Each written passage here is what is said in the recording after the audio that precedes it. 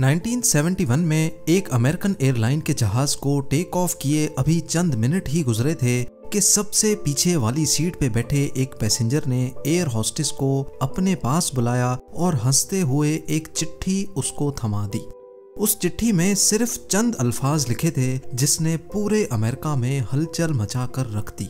वो पैसेंजर कौन था और एफबीआई आज तक उसको ज़िंदा या मुर्दा क्यों नहीं ढूंढ पाई? ढूंढना तो दूर की बात, अमेरिका की सबसे पावरफुल इंटेलिजेंस एजेंसी पिछले 50 सालों से उस पैसेंजर की जर्रे बराबर भी इंफॉर्मेशन नहीं निकाल पाई। जेम टीवी की वीडियोस में एक बार फिर से खुश आमदीद नाजरीन, इस इंटरेस्टिंग वाक़े की शुरुआत 24 नवंबर 1971 को पोर्टलैंड एयरपोर्ट से हुई थी। एक शख्स जो बज़ाहिर बिजनेसमैन लगता था, उसने पोर्टलैंड से सिएटल का टिकट बुक करवाया और सीधा जहाज़ की तरफ़ बढ़ने लगा। तब अमेरिका में डोमेस्टिक फ्लाइट्स पर किसी किस्म की भी कोई सख्ती नहीं हुआ करती थी। ना ही पैसेंजर्स का सामान चेक किया जाता था और ना ही उनकी आइडेंटिटी वेरिफिकेशन की जाती थी। ये नॉर्थ वेस्ट ओरिएंट एयरलाइन का जहाज़ बोइंग 727 था।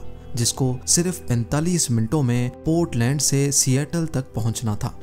सन ग्लासेस लगाए एक ब्रीफ केस के साथ डैन कूपर नामी ये पैसेंजर इस जहाज़ में सवार हुआ और अपनी पसंद की सीट पर जाकर बैठ गया, जो जहाज़ की सबसे आखिरी सीट थी। उसने अपने लिए एक ड्रिंक ऑर्डर की और साथ ही सिगरेट भी जला ली। यहाँ तक सब कुछ नॉर्मल चल रहा था, क्योंकि फ़्लाइट में स्मोकिंग करना भी सेवेंटीज में अलाउड था। ठीक दो बजकर अट्ठावन मिनटों पर फ़्लाइट टेक ऑफ़ हो गई। टेक ऑफ़ होते ही डैन कुपर पीछे मुड़ा और पास में बैठी एयर होस्टेस को हँसते हुए एक एनवलप थमा दिया। एयर होस्टेस जिसका नाम फ्लोरेंस शॉफनर था, उसने जब वो चिट्ठी पढ़ी तो जैसे उसके पैरों तले ज़मीन ही खिसक गई। Miss I have a bomb here and I would like you to sit by me मेरे पास बॉम्ब है और मैं चाहता हूँ कि आप मेरे बराबर में आकर बैठ जाएँ। फ्लोरेंस शॉफनर जब डैन कूपर के बराबर में आकर बैठी तो उसने अपना ब्रीफ केस खोला, जिसमें डायनामाइट की आठ स्टिक्स और एक डेटोनेटर भी मौजूद था। इन शॉर्ट, जहाज़ हाई जैक हो चुका था और डैन कूपर की टोटल तीन डिमांड्स थी। उसको पाँच बजे से पहले पहले दो लाख डॉलर कैश, दो पैराशूट के पेयर्स और सियाटल एयरपोर्ट पर एक रीफ्यूलिंग ट्रक रेडी चाहिए था। अपनी डिमांड्स के आखिर में उसने फ्लोरेंस शॉफनर को इनडायरेक्टली ये भी बोला कि अगर कोई गलती हुई तो मैं बॉम्ब फाड़ दूँगा। डैन कूपर के अलावा इस जहाज़ में 35 पैसेंजर्स थे, जिनको पीछे जहाज़ में होने वाले इस वाक़े का बिल्कुल भी इलम नहीं था।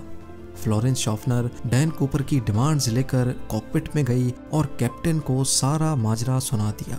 एक दूसरी एयर होस्टेस जिसका नाम टीना मकलो था, वो अब एक इंटरकॉम लेकर डैन कूपर के साथ आकर बैठ गई, जो पायलट और डैन कूपर के दरमियान मैसेज पहुँचाने का काम कर रही थी याद रहे कि ये अमेरिका की हिस्ट्री में होने वाला पहला प्लेन हाईजैक था, जो रैंसम के लिए किया गया था इसी वजह से लोकल अथॉरिटीज और एफबीआई ने फैसला किया कि हाईजैकर की सारी डिमांड्स पूरी की जाएँ। ज़ाहिर है अथॉरिटीज को भी मालूम था कि डैन कूपर उनसे भागकर ज़्यादा दूर नहीं जा पाएगा।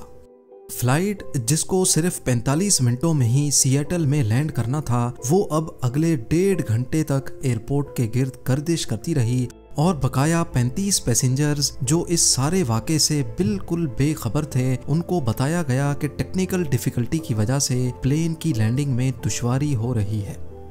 इस दौरान सिएटल नेशनल बैंक से 20 डॉलर के दस हज़ार नोट इकट्ठे किए गए, जिनके सीरियल नंबर्स नोट कर लिए गए थे। और एक करीबी स्काई डाइविंग क्लब से दो पैराशूट की जोड़ियाँ भी अरेंज की गईं।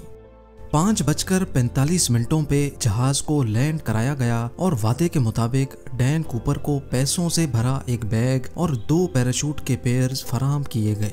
साथ ही साथ जहाज़ को रीफ्यूल भी कर दिया गया। अपनी मांगे पूरी करवाने के बाद डैन कूपर ने 35 पैसेंजर्स और दो फ़्लाइट क्रू को जहाज़ से उतरने की परमिशन दे दी, जबकि पायलट्स और दो फ़्लाइट क्रू को जहाज़ में रहने का ही कहा। इस वक्त रात हो चुकी थी और जहाज़ एक बार फिर से टेक ऑफ़ कर गया। डैन कूपर ने अपने साथ बैठी टीना मकलऊ के ज़रिए पायलट को कुछ खास इंस्ट्रक्शंस भेजी। वो चाहता था कि जहाज़ के लैंडिंग गियर्स और फ्लैप्स खुले रहें एल्टीट्यूड दस हज़ार फीट हो स्पीड 320 किलोमीटर पर आर और जहाज़ को सीधा मेक्सिको सिटी लेकर जाया जाए। पायलट ने बाकी तमाम डिमांड्स तो पूरी कर दी, लेकिन जहाज़ को सीधा मेक्सिको सिटी लेकर जाना फ्यूल की वजह से पॉसिबल नहीं था।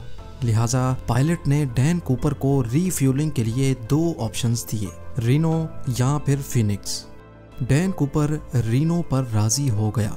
दूसरी तरफ़ लोकल और फेडरल अथॉरिटीज भी अपना काम कर रही थी। दो फाइटर जेट्स को जहाज़ के पीछे रवाना किया गया, लेकिन वो इतनी स्लो स्पीड मेंटेन नहीं कर पा रहे थे। इसी वजह से उन्होंने जहाज़ के गिर्द चक्कर लगाना शुरू कर दिया। रात के अंधेरे में जहाज़ रीनो की तरफ़ रवा दवा था। इतने में डैन कूपर ने पास बैठी टीना मकलो को कॉकपिट में जाने का कहा, जहाँ दो पायलट्स और एक फ़्लाइट अटेंडेंट मौजूद थी।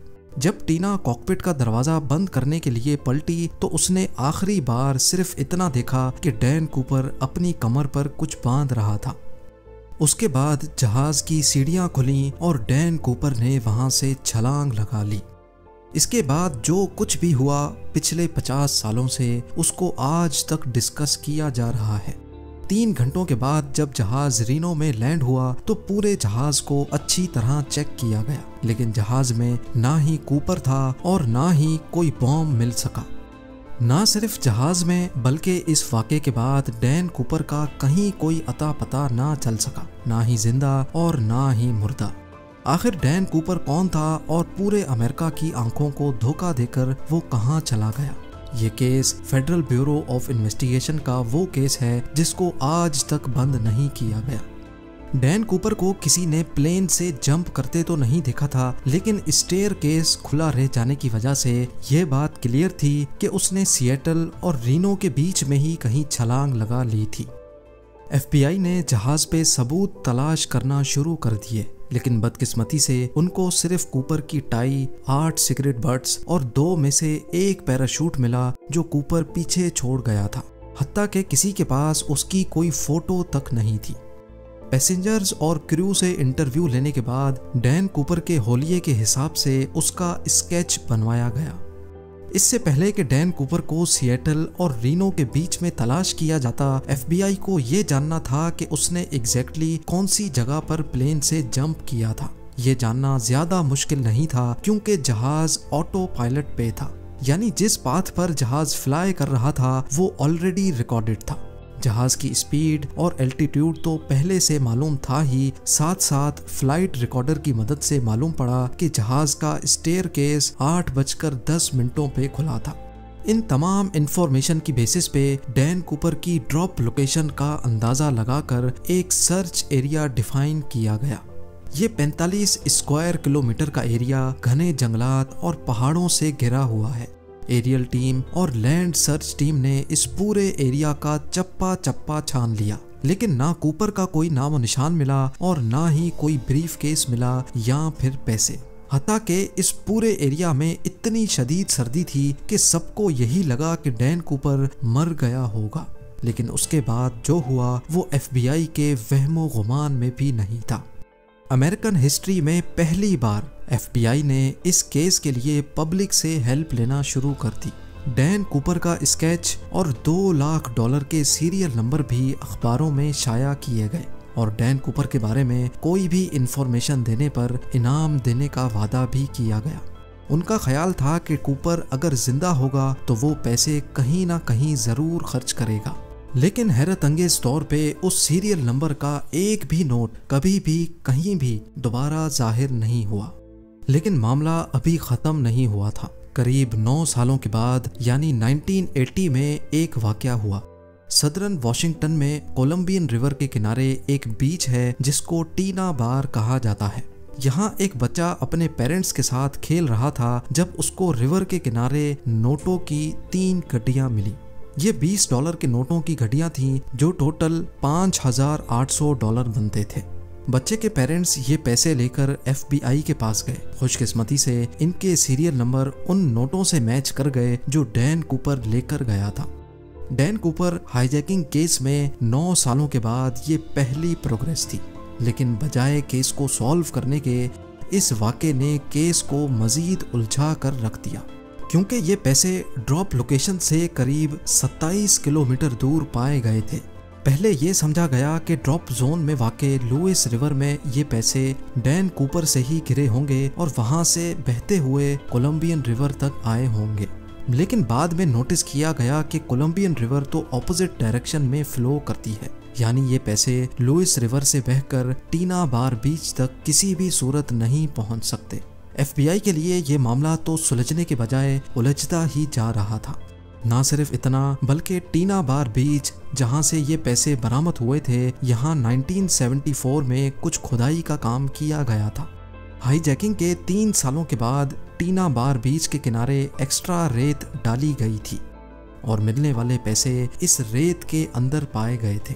इस नई इन्फॉर्मेशन से तो ये ज़ाहिर होता है कि डैन कूपर या फिर उसके किसी साथी ने जानबूझकर केस को उलझाने के लिए तीन सालों के बाद टीना बार बीच पर आकर ये पैसे दफनाए थे। इस केस को लेकर एफबीआई ने कूपर जैसे दिखने वाले लोगों से इन्वेस्टिगेशन की, लेकिन कोई खातिर खास सुराख ना मिल सका। कई थ्योरीज ये भी कहती हैं कि कूपर शायद कोई ट्रेंड मिलिट्री कमांडो था। क्योंकि जो पैराशूट वो अपने साथ लेकर गया था वो एक मिलिट्री पैराशूट था और उसको ऑपरेट करना उस पैराशूट से ज़्यादा मुश्किल था जो वो प्लेन में ही छोड़कर गया था। 1980 में 5,800 डॉलर कैश मिलने के अलावा बकाया 9,710 नोट दोबारा कभी नहीं मिल पाए। एविडेंस के तौर पे एफबीआई के पास डैन कूपर के इस स्केच के अलावा सिर्फ़ ये टिकट है जिसमें उसने खुद अपना नाम लिखा था। और ये टाई जिस पर क्लिप लेफ़्ट साइड पे लगी थी, जिससे ये ज़ाहिर होता है कि डैन कूपर लेफ़्ट हैंडेड था। इस केस ने एफबीआई को पिछले 50 सालों से सवालों में उलझा कर रखा है। आज भी एफबीआई की वेबसाइट पर इस केस की तमाम डिटेल्स मौजूद हैं और इस केस की फ़ाइल आज भी खुली हुई है। उम्मीद है जेम टीवी की ये वीडियो भी आप लोग भरपूर लाइक और शेयर करेंगे। आप लोगों के प्यार भरे कमेंट्स का बेहद शुक्रिया। मिलते हैं अगली शानदार वीडियो में।